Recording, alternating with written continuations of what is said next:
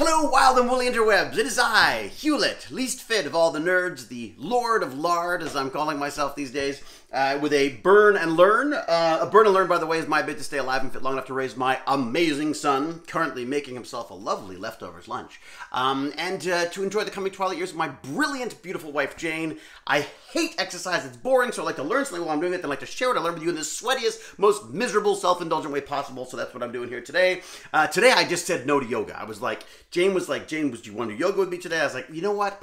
Much as I love our time together of me screaming and falling over and complaining about all of the pain and, and fiery feelings in my joints that have never bent this way before, um, I actually, to be fair, I've actually quite enjoyed the yoga stuff. And it's just nice to have something to do with Jane as well. Um, but today I was like, no, I gotta learn something. I gotta get in my head. I got for some reason I just I wanted that time. I wanted that sweaty time in my head. Um, so I so I took to the torture device. I did 40 minutes. Um, and uh, I went to I sort of went back to my usual thing. I was like I was gonna you know I've been doing some Linux because I do this um, uh, computer security course. Uh, oh, I should tell you about this. this uh, Pentester Labs is this security course I'm taking.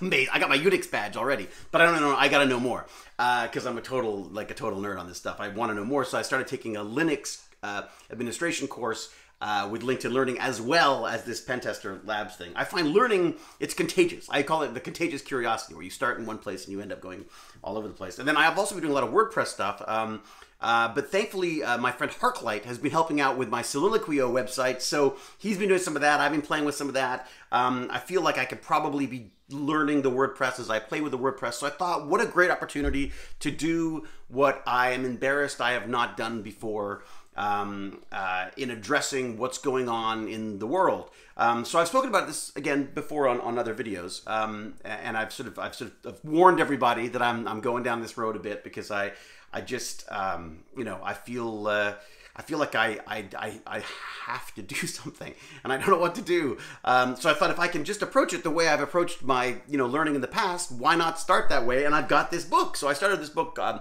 this book called "So You Want to Talk About Race." This has become this has been like highly recommended um, uh, to me from various articles and people and such. And so it's um it's a book by Ajima uh, Oluo, and I apologize if I've completely screwed up her name. Um, and uh, like right away like right away, I found myself uncomfortable. And, uh, but that's exactly what I'm supposed to feel, I think.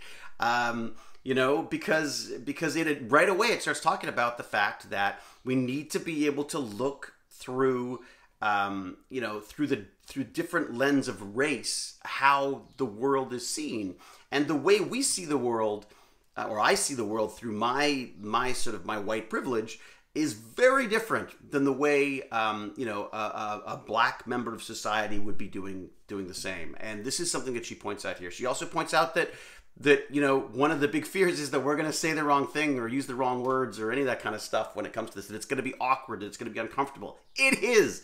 It's horrible. I, I I said to Jane. I said like I I I'm I'm I'm almost nervous doing these now because I feel like I'm I'm talking about stuff that I just don't know anything about, and I'm so worried about saying the wrong thing and doing the wrong thing. But I feel like that's sort of what's held me back. So I want to try to sort of work with that. So please, you know, uh, I was gonna say be kind, but I mean, you know, let me know. I mean, everyone's got opinions on this stuff. Um, but this book is is is is is really um, so far has just been amazing. I'm like, so I'm I'm a few chapters in, um, and the big one that really struck me was the idea that um, you know we tend, uh, you know, uh, I have tended to look at the situation in the world through my own uh, through my own understanding of race. Um, you know, as a as a white man, I'm looking at things as a white man would, and I'm and I'm hearing these terrible things happening to black people, and I'm going, you know, this does not compute. This is, oh my gosh, what a terrible, um, you know, what a terrible departure from the norm this was. Um, and and so I uh, you know I I love that she's addressed that right away. I love that she's also said, you know, uh, she talks about things that I hadn't even thought of. I mean, the one that really uh, strangely struck me was she that apparently her hair wasn't suitable for the office. It wasn't uh, it wasn't corporate hair. Um, you know that she spoke too loud. There's all these these sort of uh, like cultural or racial things that that are little tiny sort of little little cuts at, at, at her at who she was and and and, and who she is um, and that she sort of got tired of trying to figure it out and and and work with it, and instead wanted to speak ab- about it. Um, and how very well-meaning people, um, you know, I would, I mean, I hope I include myself in that to some extent, have have the wrong, you know, have have this wrong. You know, they start talking about about uh, how this is a um, a class problem and and how we have to help out the poor and um, and and how you know from there on everyone will do better and stuff. But her her point was that this system this system is is you know, it was never it was never designed for black people to have the same rights and equality that that we had. That it's a very elitist system. That there is a that there is a there is a supremacy to our white uh, in this um, in this. Uh, uh, in this in North American culture, and I include Canada in this, and I'm not just talking about the states. Um, this is a this is not a police problem or just a police problem. Um, this is not just a uh, a political problem. This is a this is a racial problem, and we have to address it as such. Um, and I think from a, on a societal level, by the sound of it. Anyway, so her her her book has sort of started me down that road, and so what I guess I'm saying is I welcome you to perhaps consider. Um, uh, doing this as well. I've actually I did the audiobook. It's it's great. Um, it sort of allows me to think while I'm while I'm um, uh, while I'm doing my burn and learn, and uh, and I think it's kind of an interesting departure for me because this is not what I would normally be. This would not be, be what I was learning about before, and I and I hope that this will. Um, I don't know, elicit a bit of change and maybe get some other people thinking about this, and and, and, and it could be something we could talk about more. Um, but trust me, there'll be lots of geeky stuff as well. I mean, one of the things I I um, I talked about with the, with the kids the other day on Tech Bandits was uh, was you know how do we how can we fight racism with technology? And we talked about this. There's this there's this wonderfully awful um, video that, that, that surfaced a, a, few years ago about a, a rate they called it the racist soap dispenser, and so the kids were talking about that. Um, and how well wait a sec you know what is that why is that racist? What is the you know what's the the, the the, the you know how is technology racist? And i say well it's not. But of course when you design technology if you don't design it for everybody for it to work equally on everybody then there's inherent bias and racism in that.